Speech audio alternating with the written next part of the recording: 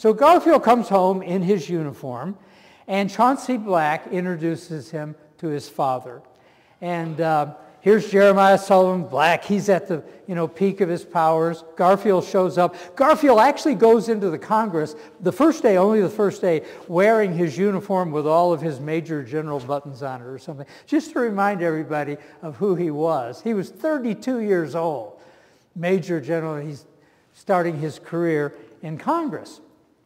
Now later, Brigance, of all the books uh, on uh, Black, I think this one's the best. It's just called Jeremiah Sullivan Black. It was a PhD dissertation. It's published by the University of Pennsylvania Press in 1934. But this is what he says. Thereupon began one of the most unique of friendships among public men. Black was 21 years the elder. He was an intense and radical Democrat. Garfield was a thorough Republican. Upon the surface, the only common tie between them was the fact that both were members of the same church. The followers of Alexander Campbell, going to church there in Washington, D.C. Then, as they're talking, Black says to him one day, Do you know the case of Milligan? What do you think? And, Mill- and Garfield says, I'm on Milligan's side. I don't think civilians should be tried in front of military tribunals, the way Milligan was. Three of them were tried in 1864. The war was still going on. They lived in Indiana, which was in the north. But they were speaking in favor of the South. They were giving comfort to the South. They were accused of rebellion. They were accused of causing all, and they were suffered to hang. They were, the verdict came down, you were to die. You don't live in Indiana and give comfort to these Confederates. And Garfield, who was a thorough anti-slavery man from the North, he didn't agree with that. There were civil courts that could have tried their case. Black said, I've decided to help Milligan, and we're going to take this to the Supreme Court. Would you help me? And so Garfield goes home and reads up on it, and he said, yes, I believe this. And Black says to him, this will hurt you in your career. This will hurt you with the Republicans. They will never forgive you for this. And Garfield says, no, this is right. I believe this.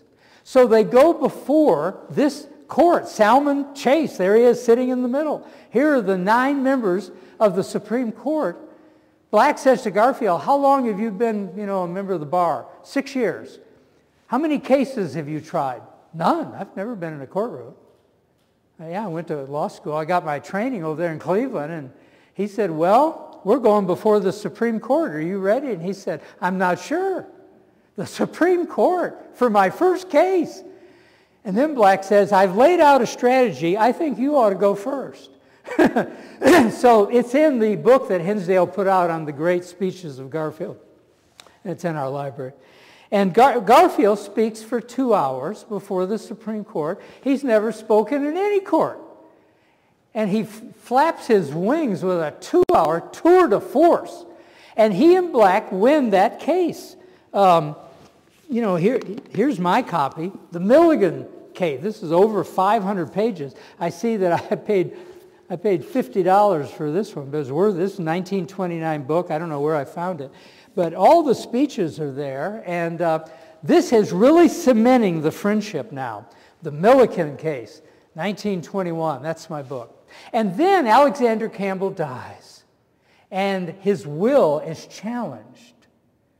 And his widow says to Black and Garfield, will the two of you come and defend the will of my late husband. Well, of course, they love Alexander Campbell. So in 1868, they're working together again, only two years after Milligan. They're working together, and they win that case, and they, you know, defend the will of Campbell.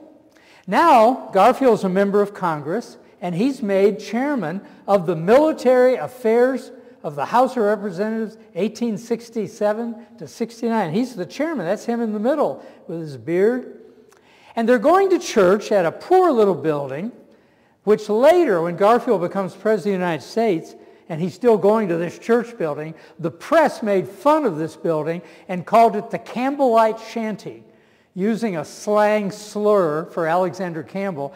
These followers of Campbell are Campbellites, and this is their shanty they call a church building. And it was pretty unattractive. When Garfield was president, the man who would drive him in the horse and buggy to this church would say to him, after I let you and your wife and your mother off, can I go park over there in front of the Episcopal church? It's much nicer. And, and the other drivers make fun of me when I'm over here in front of this. And Garfield said, yes, yes, you can do it, but you cannot be late picking us up. The President of, the church, of, of America cannot be standing around on a corner waiting for his ride to come pick him up. So here's where they went to church, the old Vermont Avenue Christian Church. And it needed a preacher, and they worked together to go get H.T. Anderson. Henry Tompkins Anderson had produced an amazing translation of the Bible. Uh, the Anderson Bible came out in 1864. He's a brilliant scholar. How did they get him a job? He needed money. They went to U.S. Grant, the president, and they said, we need a job so we can bring this man to Washington and be our preacher. And Grant gave him a job in his administration. So now Anderson comes. So the friendship between, it's growing and it's getting stronger. And um, Garfield writes things like this in his diary. I spent a delightful evening and night with the judge in his new house. This would be in York, Pennsylvania. He is a glorious man, full of ideas, full of power. Their, their friendship is really growing here in 18. I didn't mention, they did a case in 1870. I'm going to show his picture.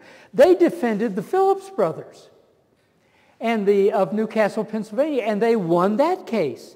The Phillips brothers were in petroleum, and they loved both Black and Garfield, but they were Republicans like Garfield. And uh, do we have any connection with the Phillips at Pepperdine? Probably not. But that T.W. Phillips, who they won that case for, his children and grandchildren gave us the money to build a 125-foot theme tower at the entrance to our campus with a cross in it. So the Phillips theme tower out there, which I can see from my plane, you know, when I'm flying back from San Francisco, you look down from your flight, you can see the Pepperdine campus. That slender white needle is shooting up. It just, you can spot it from many, many miles away. That's the Phillips Tower. They won that case in 1870. But look at what, look at what Garfield is writing. Things like this.